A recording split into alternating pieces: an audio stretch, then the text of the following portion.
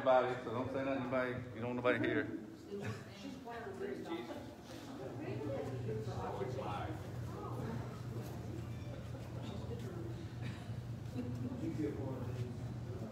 Sir?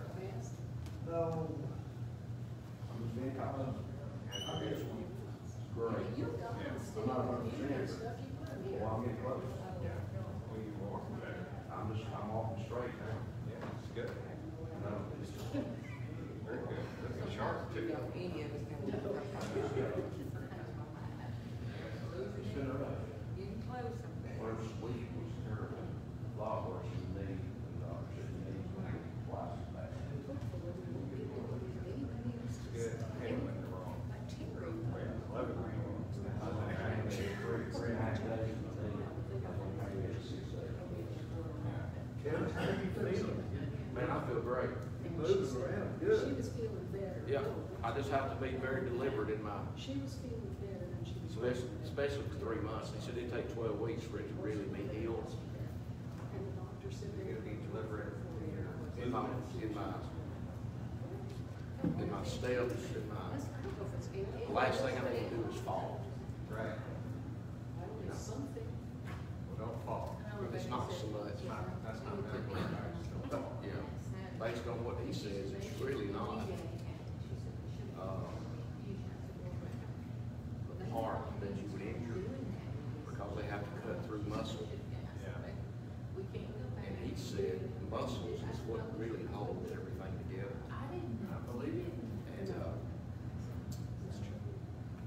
We it wouldn't pop out because of something.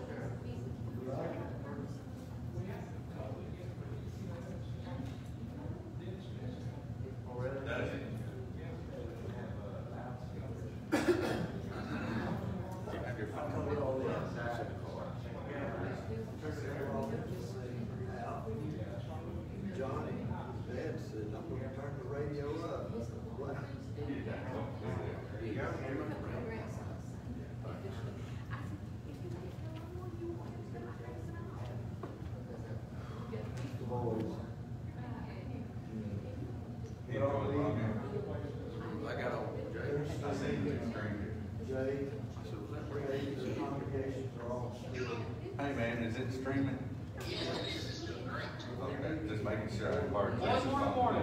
Morning, they're all No, I fixed it. I got Steve still. I had to raise it up quite a bit. There was a short.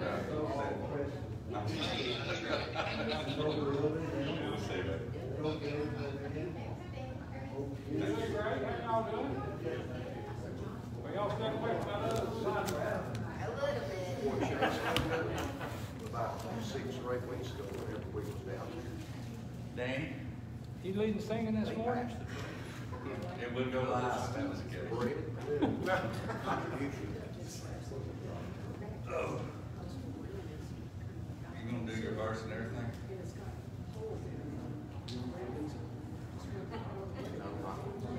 Long as one.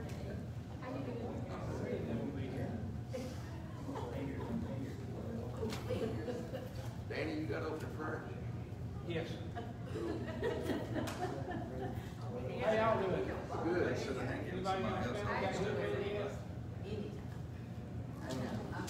Not that we know of. Yeah. We knock on the wood. Have we assigned this to, do we need to sign? Everything's taken care of, I think, except for open prayer. Who's doing scripture? That.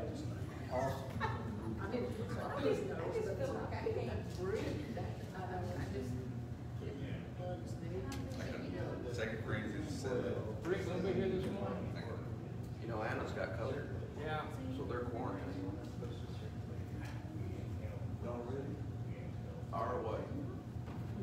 So we're not, uh, we don't serve Chrissy's got a sinus infection, so she's sitting outside. What's your phone? Whose phone is that? That's the case. Well, good morning, everybody. Morning.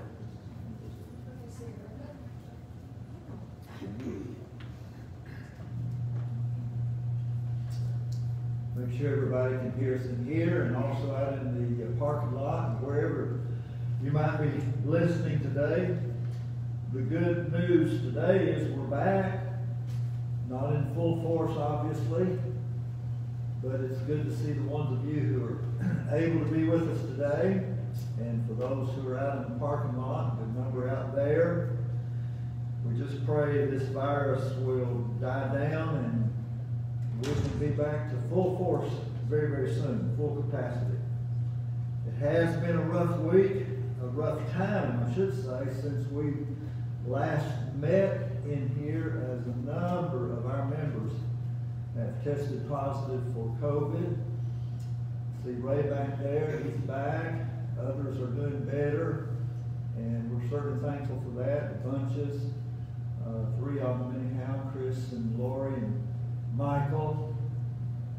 Uh, think about, uh, um, Danielle and, uh, her kids, one of her children. Uh, they're better.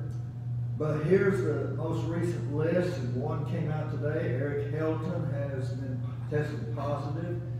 Jackie and Terry Woodring, Tammy Isaac, Anna Lawson, Michael Norton, uh, and the boys, uh, Ashton and Bentley. Mallory says they're all improving. Bobby Hazelwood, we have other people outside of our own immediate family who are affected by this virus, so we need to remember them. Ashley Workman is another, Danny Renee, uh, Renee's granddaughter. She's actually on a ventilator in Boise, Idaho, but, uh, all of her vitals are good, and we just pray that she'll recover completely. And there are others on our prayer list that don't have COVID, and we need to remember them. Those that come to my mind are, are Matt Vanderplu, recovering shoulder surgery, uh, uh, and, uh, Jerry Boswell, maybe they're out in the parking lot, we pray. And Terry Suttles, and I want to mention Terry, she has suffered a great deal in her legs. Uh, three of the doctors think it is, uh, uh, an effect from the vac, the last vaccination she had. They don't know that for sure.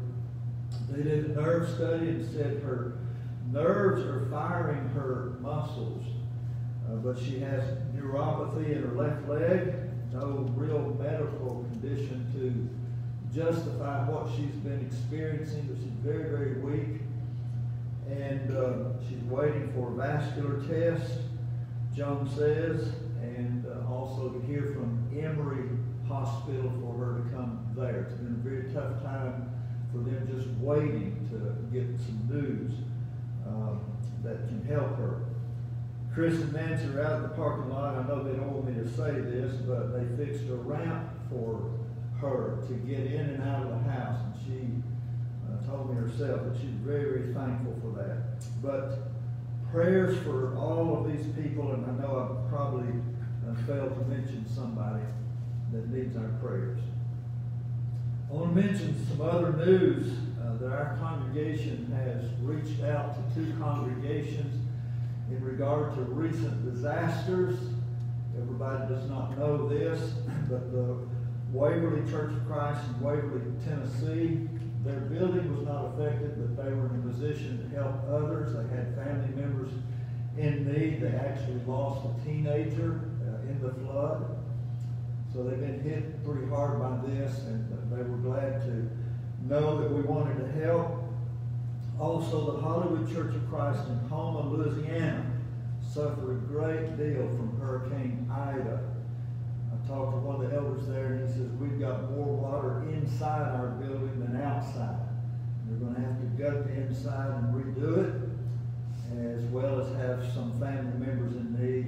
And so our elders uh, wanted to do something really uh, response to the help that we got back in 2013 when the tornado hit us. And we know how appreciative we were of the help that we received from other congregations. So as we have a ability to do so, we want to help others. And we recently sent $1,000 to each of those congregations. And I know they're very appreciative. Well, let's take a songbook as uh, Eric comes and leads us in our singing, and everybody in the parking lot, we encourage you to sing out, and let's uh, enjoy our worship today. Number 180. 180.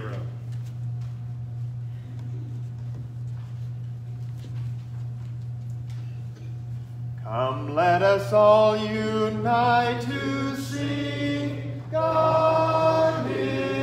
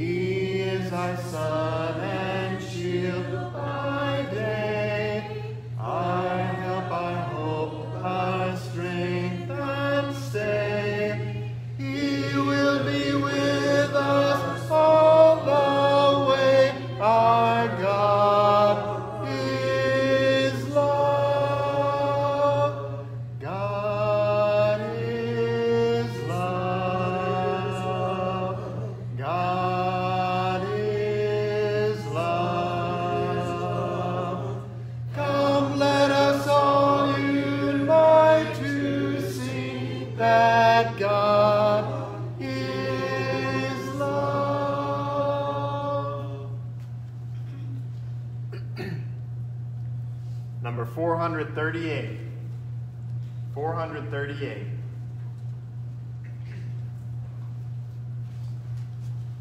This will be the song before opening prayer.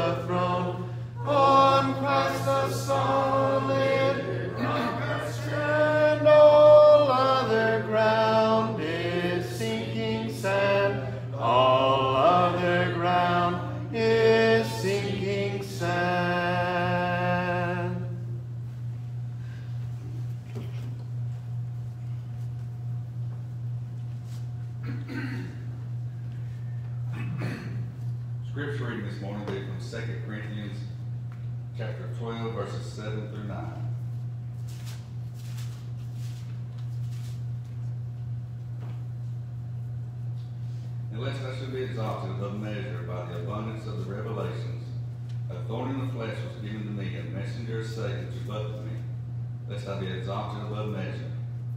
Concerning this thing I pleaded with the Lord three times, that he might depart from me. And he said to me, My grace is sufficient for you. My strength is made perfect in weakness. Therefore, most gladly I will rather boast in my infirmities, that the power of Christ may rest upon me.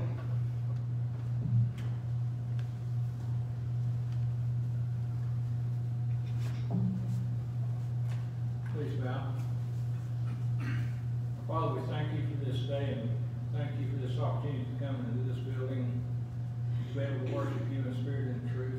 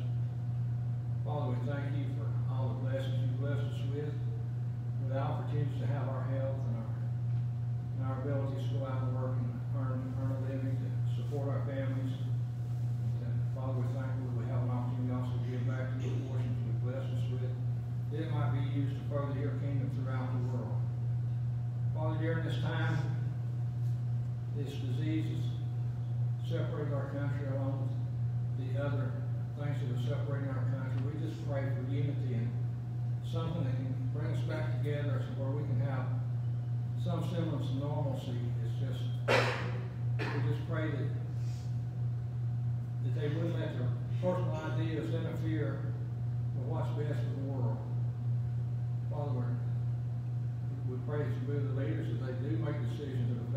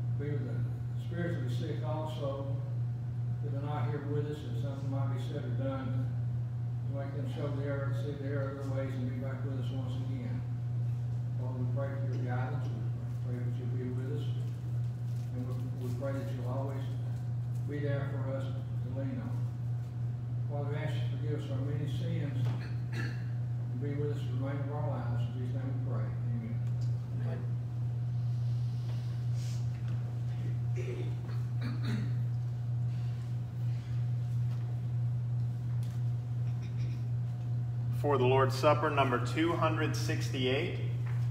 268. I gave my life for thee.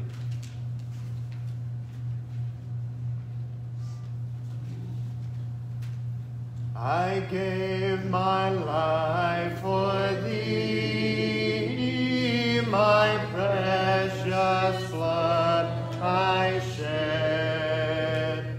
That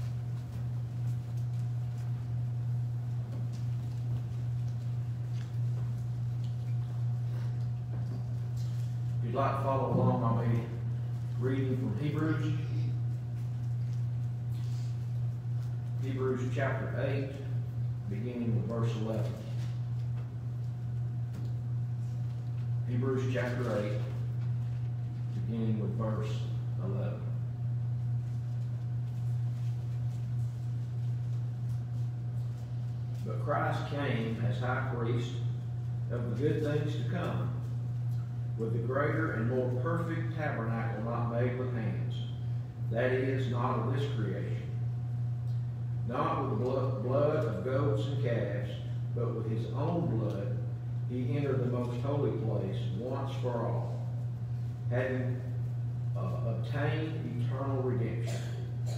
For if the blood of bulls and goats and the ashes of a heifer, sprinkling the unclean, sanctifies for the purifying of flesh, how much more shall the blood of Christ, who through the eternal Spirit offered himself without spot to God, Cleanse your conscience from, the, from dead works to serve the living God.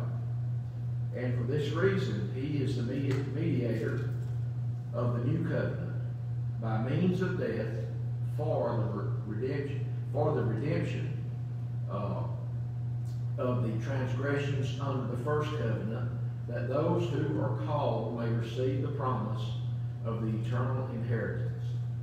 For where there is a, a testament, there must also of necessity be the death, the death of the testator. For the testament is enforced after men are dead, since it has no power at all while the testator lives. Therefore, not even the first covenant was dedicated without blood. For when Moses had spoken every precept to all the people according to the law, he took the blood of calves and goats with water, scarlet, wool, and hyssop, and sprinkle both the book itself and all the people, saying, This is the blood of the covenant which God has commanded you. Then likewise he sprinkled the blood both the tabernacle and all the vessels of the ministry. And according to the law, almost all things are purified with blood, and without the shedding of blood, there is no remission. Find it interesting that how really easy it is to understand if we read and understand the that we no longer are under the Old Testament law. I would encourage anyone that may be listening to that we just read the first nine chapters of Hebrews where we've just read. We understand that we're under a, a better testament. We're under the New Testament. When this life is over, that will be what we answer to on the day of judgment. But in preparing our minds for the Lord's Supper, as we've read about the shedding of blood, we can't help but think and take our minds back to the cross before Jesus died by, by the giving of his body willfully and the shedding of his blood so that, among other things that, that did, that we could have remission of our sins. Let us give thanks. Father, we are so thankful for this first day of the week, this day that the church comes together and, and assembles, worship, fellowship with one another. Father, you in fellowship with us. Father, we're thankful for what Jesus did at Calvary. We know without you sending him for this purpose and for him willfully giving his life, we would have no hope. And Father, in a special way, may we, as we partake of this, this bread which represents his body, that he gave as it hung at Calvary and as he died, may we do so in a pleasing fashion to you. In Jesus' name we pray. Amen.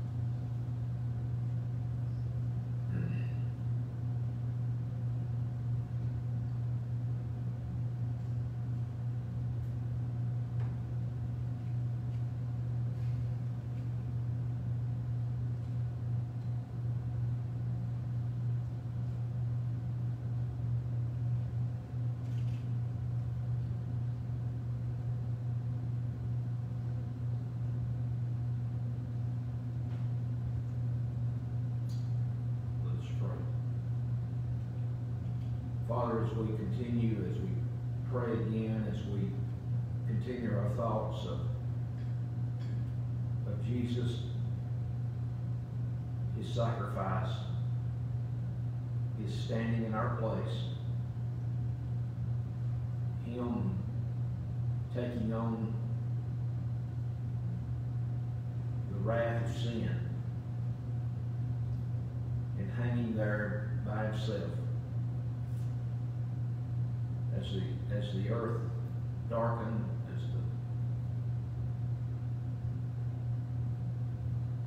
the, as the things that unfolded that day and as even the,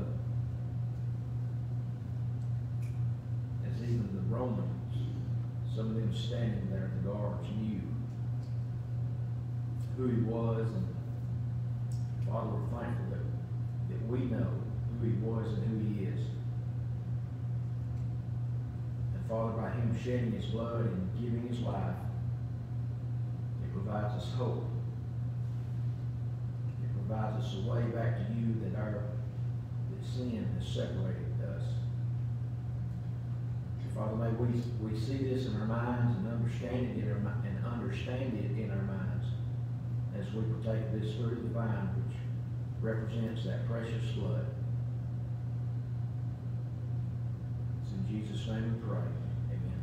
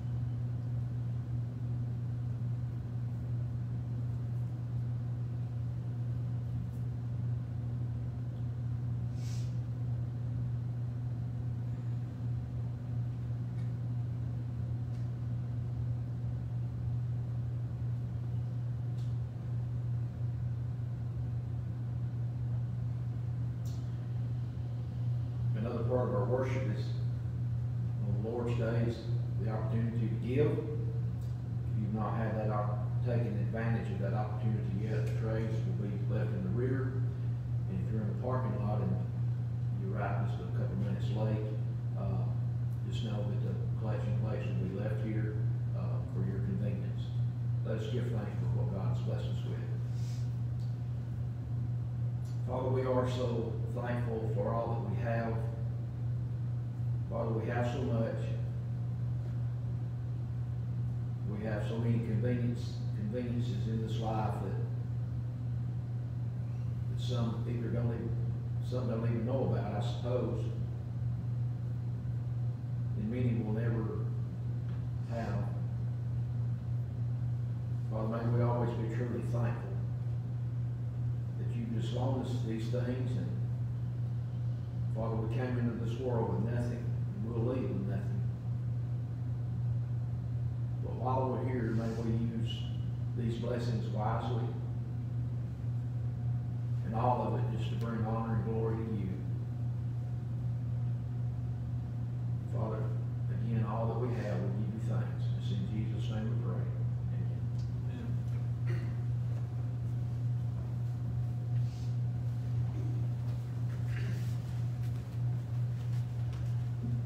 Amen. Invitation song will be number 613.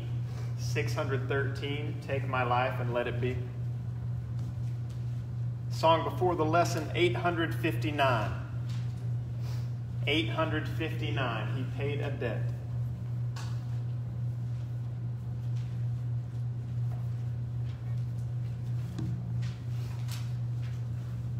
He paid a debt he did not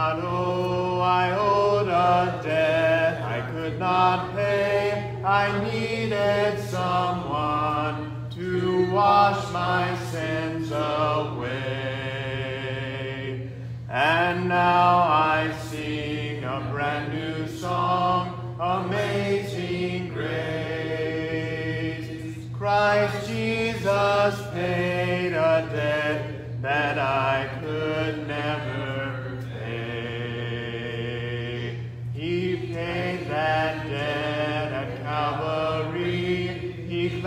my soul and set me free. I'm glad that Jesus did all my sins erase.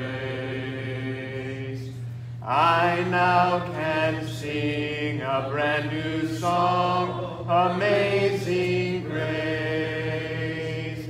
Christ Jesus paid a debt that I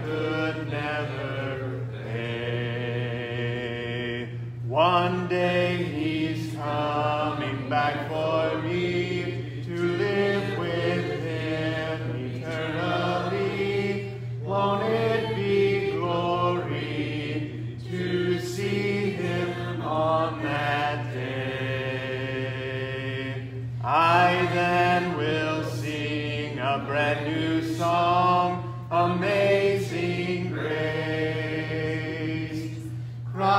Jesus paid a debt that I could never pay.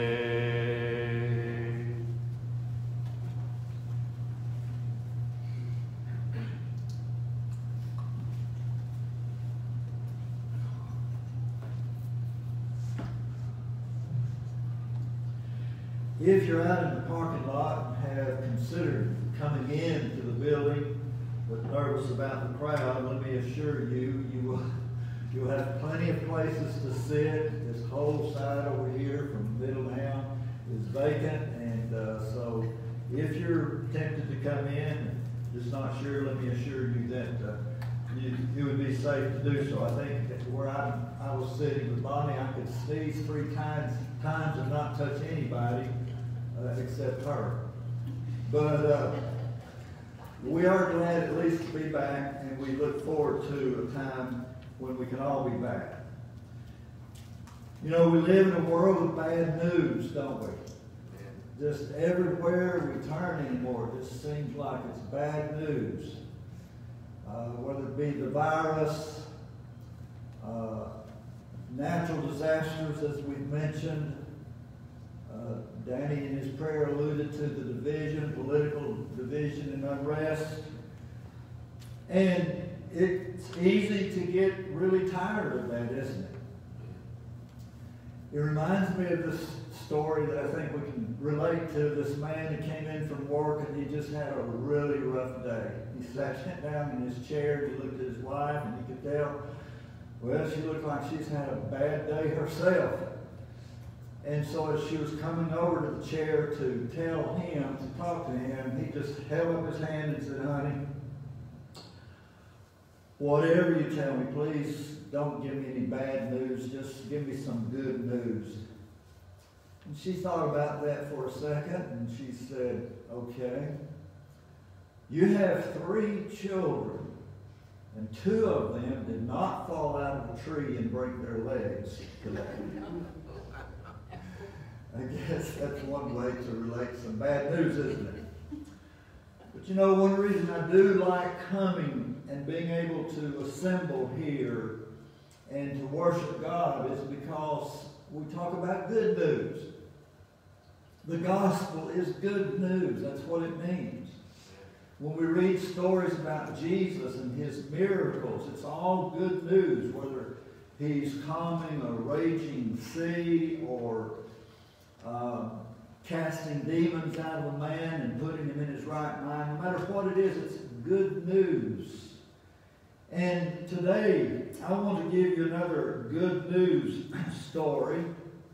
It's a familiar story where Jesus healed a woman with a terrible disease. If you have your Bible, please turn to this. It's in Mark chapter 5. Mark chapter 5, beginning at verse 25. And uh, just so you know, it's also recorded in Matthew 9 and Luke 8. But we'll read from Mark 5, beginning at verse 25. Now, a certain woman had a flow of blood for 12 years and had suffered many things from many physicians. She had spent all that she had and was no better, but rather grew worse. When she heard about Jesus, she came behind him in the crowd and touched his garments, for she said, If only I may touch his clothes, I shall be made well. Immediately the fountain of blood was dried up, and she felt in her body that she was healed of the affliction. And Jesus, immediately knowing in himself that power had gone out of him, turned around in the crowd and said, Who touched my clothes? But his disciples said to him, You see the multitude thronging you, and you say, Who touched me? And he looked around to see her who had done this thing. But the woman, fearing and trembling, knowing what had happened to her, came and fell down before him and told him the whole truth. And he said to her, Daughter, your faith has made you well. Go in peace and be healed of your affliction. Now we know that Jesus was very busy at this time, teaching and performing a lot of miracles. You'll read ahead of this story, you'll see some things that he did. In fact, he's in Capernaum and he's been met by a man, a, a ruler of the Jews by the name of Jairus, who has urged him to come to his house and help his daughter, who is at the point of death. And so, as Jesus is going there, he's being followed and uh, really surrounded by a throng of people. And this woman uh, pushes through the crowd and reaches out her hand and touches his garment, the hem of his garment, we're told. And uh, we learn from this story, I think, a number of lessons that are worth our study today. Four lessons in particular. First lesson comes from her suffering. Look how this woman suffered. She suffered physically, obviously. She had a blood disorder, a hemorrhage, where she was constantly losing blood, which meant that she would be very weak and pale and anemic.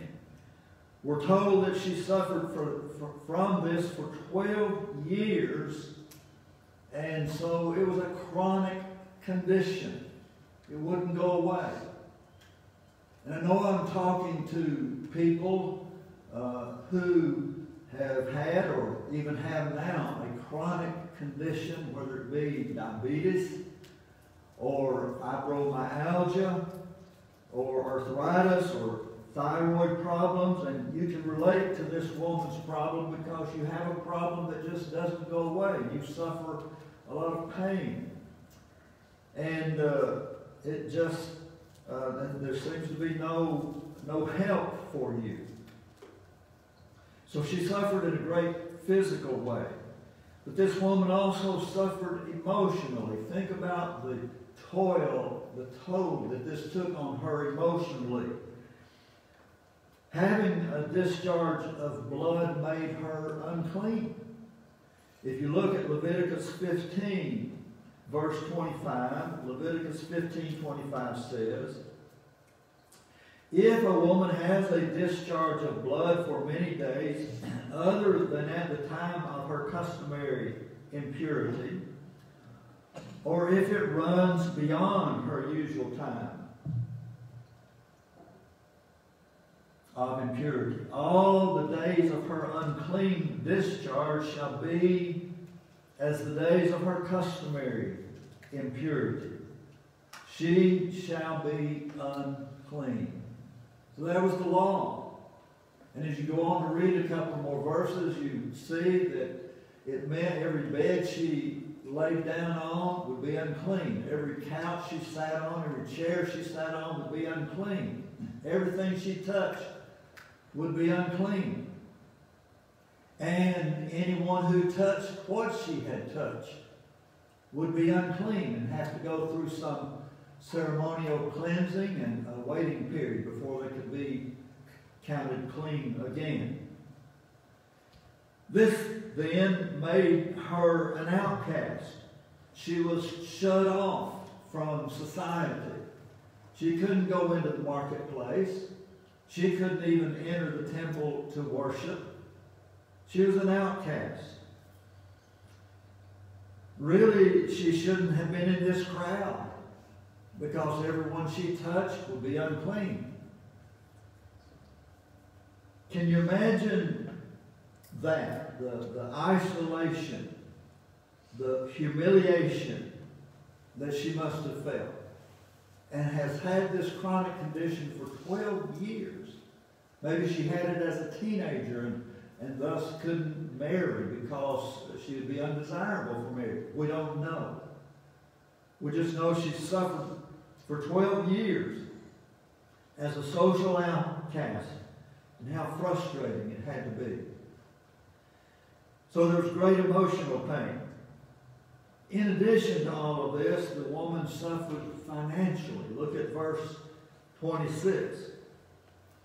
Mark says she had spent all that she had and was no better, better, but rather grew worse. Well, it's a little wonder because back then they didn't have the medical technology we have today. In fact, they had charlatans who took advantage of people. And they had medical treatments that were often very weird. One source, the, the Talmud, a Jewish kind of a guideline for living, where the rabbis wrote their uh, opinions about things. In the Talmud, uh, there were no less than 11 different cures for this, so-called cures for this disease. Uh, like uh, tonics, some of which might have given her a little boost, we don't know. But others were crank things, like taking the ashes of an ostrich egg, putting it in a linen cloth and carrying that on her person during the summer, and then in the winter put it in a cotton cloth or a cotton bag and carry that around. Supposedly this was to help this woman. Well, if this woman had spent all of her living on physicians, uh, it's probably because she had tried some of these uh, nonsensical kinds of cures. And I suspect that there are many listening today who can relate to that.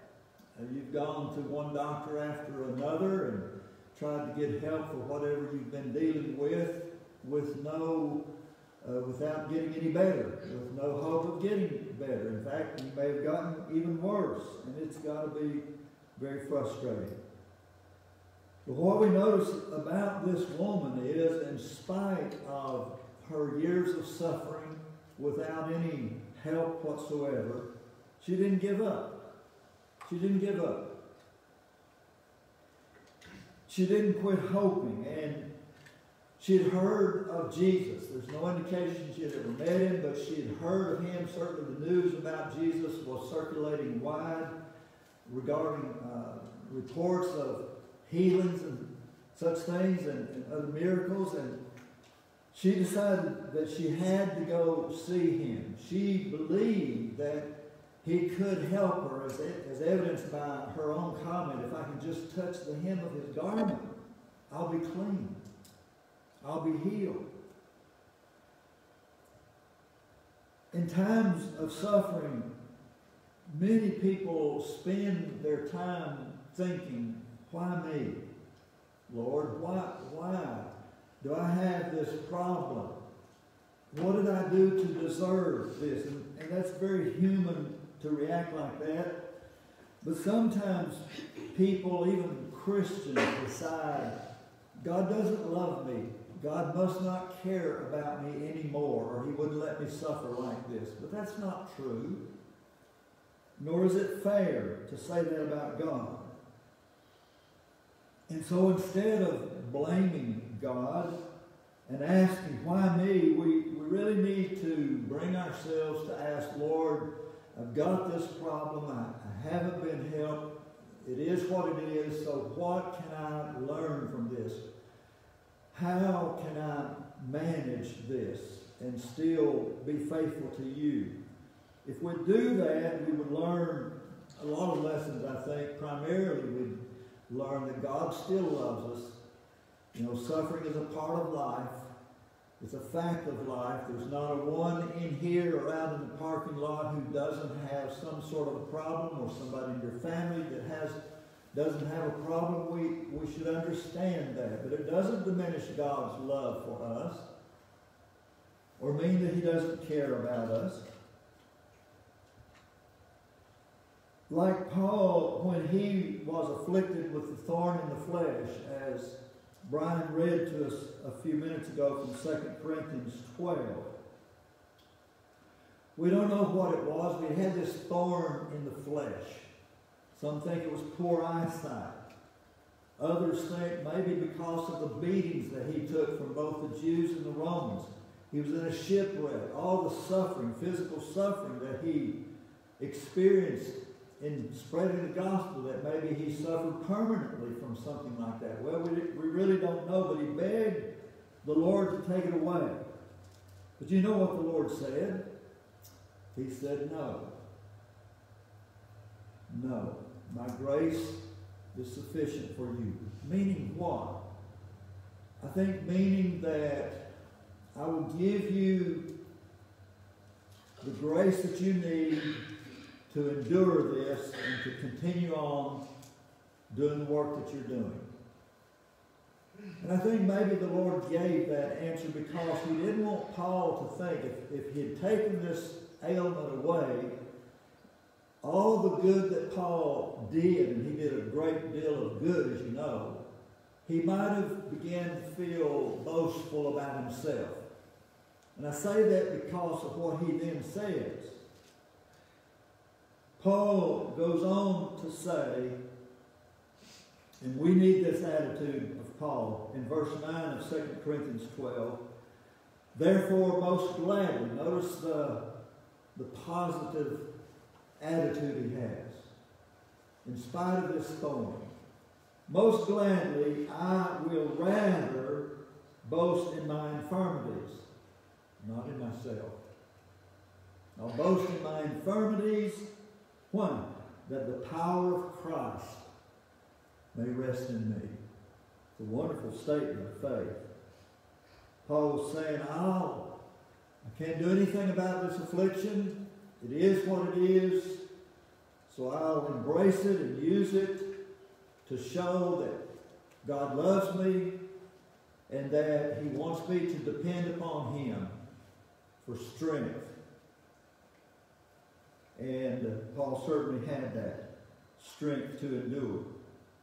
So sometimes God takes away our suffering, and we're thankful for that. We pray He will take away the suffering of all those we've mentioned in announcements this morning. We know you're suffering. Some have gotten better, some are not. And we just pray you'll get better.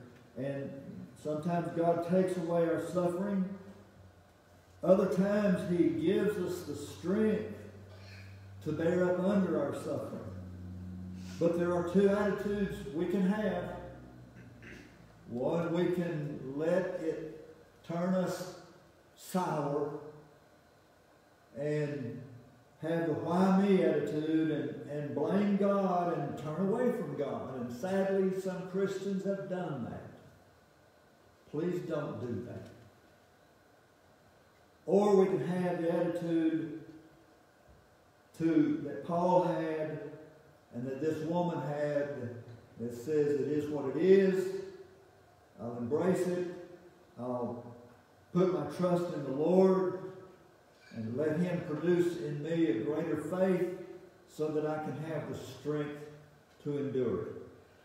And that's what this woman did. She didn't give up on God. She didn't blame God. She didn't question God's goodness, but rather she just sought the comfort and the strength and the healing that only the Lord could give her. The second lesson comes from her faith.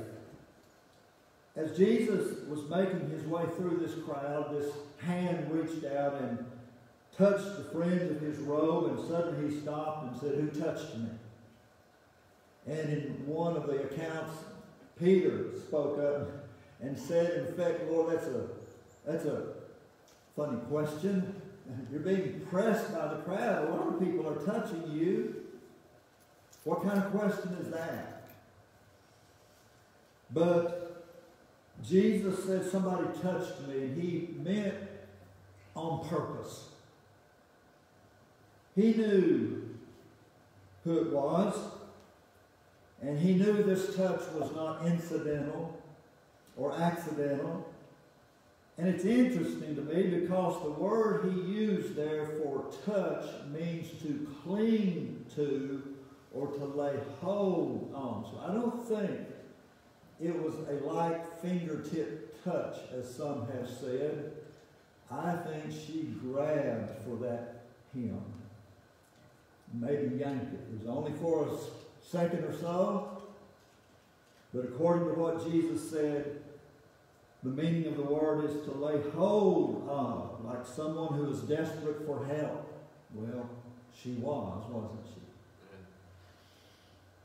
Now, there's two things I want to say about that. Number one, if you want the salvation that Jesus gives, then don't come to Him with a half hearted, nonchalant, lackadaisical effort. And the reason I say that is based on what this woman did and something Jesus said in Luke 13 24. He said this Strive to enter through the narrow gate. Well, that's what this woman was doing. She was striving to get to Jesus. She wasn't going to be denied by this crowd. That word strive means to agonize. And you see, as sinners, that's the condition that we have to recognize we're in. We're lost without Jesus. We're like a man drowning. We're drowning in sin. And so we've got to grab hold of Him. We've got to strive to reach Him in order to be saved. It's not something we can be casual about. We have to strive. Really, even as Christians, we've got to strive every day to do the Lord's will. As Moses told the Israelites in Deuteronomy 4, verse 29, he said, You will seek the Lord your God, and you will find him if you seek him with all your heart and all your soul. And that's what Jesus was saying. That's what I'm saying. We've got to strive to enter in. We've got to do as this woman did and, and reach out and, and grab what God has to offer us. Embrace it. And don't let anybody deny us what he has to give us.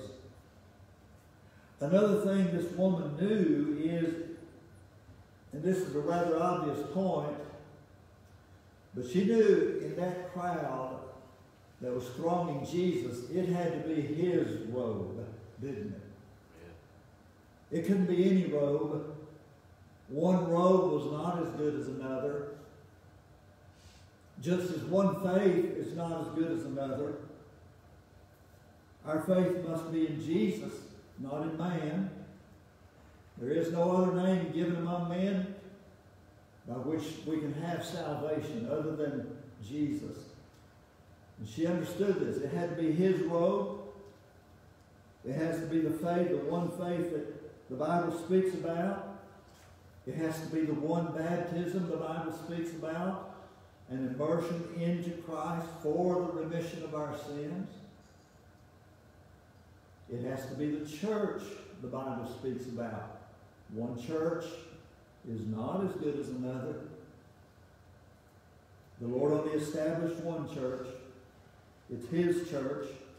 We can be a part of it, but it's still His church, isn't it? Churches that are built by men, yes, they have good people in them. We understand that. That's not the point. If it's a church that teaches for doctrines the commandments of men, not His church. and it cannot compare to his church.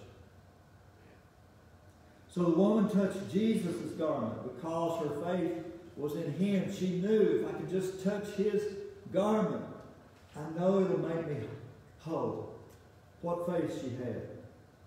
And Jesus said, Daughter, be of good cheer. Your faith has made you well. So she was healed by faith. And not faith only. You see, her faith wasn't just a factual faith. Well, I believe that he's Jesus. I believe in Jesus mentally. It was an actual faith. You see the difference? A factual faith just says, oh yeah, I believe in Jesus. But an actual faith acts upon what we believe. And that's what this woman was doing. I know if I just touch his garment, I can be healed. We need to have the faith that says, I believe in Jesus so much, I'm going to do everything he has told me to do. Repent, confess his name, and obey the gospel by being baptized. So we see this about her faith. And the third lesson is this healing always costs Jesus something. Verse 30 says, And Jesus, immediately knowing in himself that power had gone out of him, turned around in the crowd and said, Who touched my clothes? Isn't that interesting? You know, that's the only time in all the miracles that Jesus did that we are told healing someone took something out of him. You see, this woman not only felt the healing come into her body, Jesus felt that healing power go out of his body. I find that very fascinating. Because the word for power there is the same word at, that Paul used in Romans 1.16 when he said, I'm not ashamed of the gospel, for it is the power of God unto salvation. You ever think about that? The same power that healed this woman of her disease is the power that has saved us from our sins. It's all the same power because it's His power, the power of God. No earthly power could help this woman, and no earthly power can take away your sins. So healing always costs Jesus something. Let me ask you this question. What did it cost Jesus to heal us of our sins? You know the answer, don't you? Everything. It cost him everything. That's why he died on the cross. Peter said in 1 Peter 1 18 and 19, knowing you are not redeemed with corruptible things like silver and gold from your aimless conduct, but with the precious blood of Christ as of a lamb of God without blemish. It took, listen, it took some of Jesus' power to heal this woman. He felt that power go out of him, but, but it didn't kill him. But listen, it took all the power he had to heal you and me of our soul sickness. Because all of his healing power was in his life, it was in his blood, and all of that power was used up when he died on the cross. He gave his whole life, all of his power, to redeem us from our sins. Healing has always cost Jesus something. And for you and me, it cost him everything. And then the fourth and final lesson is this Jesus demands confession. And when Jesus said, Who touched me? we know he wasn't asking for information's sake. He knew who touched him. Listen, Jesus knew everybody in that crowd. He knew that woman was there. He knew everything about her. Just as he knows everyone in here, everyone uh, what you're dealing with, he knows it all. He's God. So why do you ask the question, who touched me? I believe it was simply to make this woman reveal herself, to come out in the open and to acknowledge him for what he had done.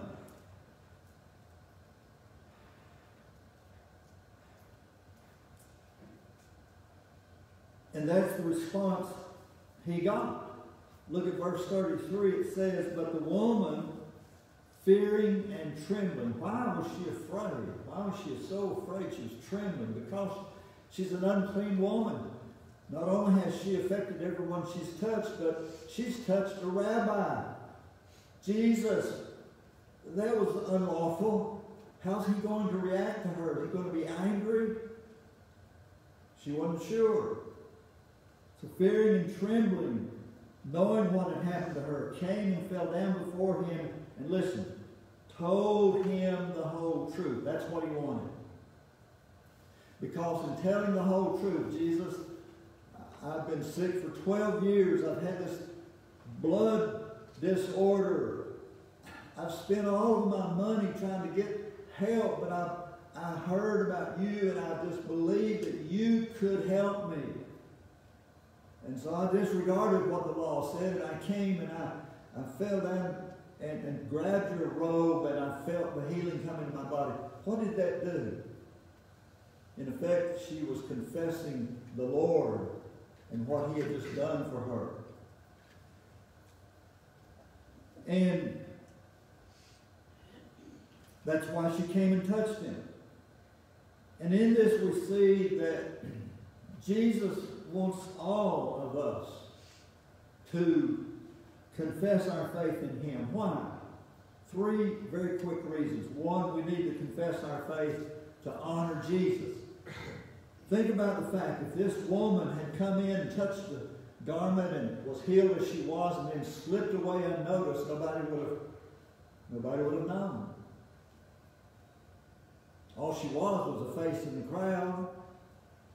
They didn't care about her. But when she told her whole story, she gave honor to Jesus. This, I've been healed and he's the reason for it. You know, the Bible says, uh, Psalm 107 verse 2, let the redeemed of the Lord say so. You've been redeemed. Don't be ashamed. Don't be afraid to let people know. Say so. Jesus is the one who has made all the difference in your life and mine. Secondly, we need to confess Jesus for the sake of others because just as this woman's confession let everyone know that Jesus was the one who healed her, he can help them. And so it is when we acknowledge our faith in Jesus as the Son of God, when, we, we're not ashamed to let people know, yeah, I'm a member of the Lord's church, uh, come and go with me. I believe Jesus is the Son of God and the Savior of the world. We're at least letting them know that there's someone who can help them as well. So we do it for the sake of others. And then thirdly, we need to confess our faith for our own sake. Again, look what it did for this woman. Again, nobody knew her. Uh, they didn't care about her. But look what happened when she made this confession.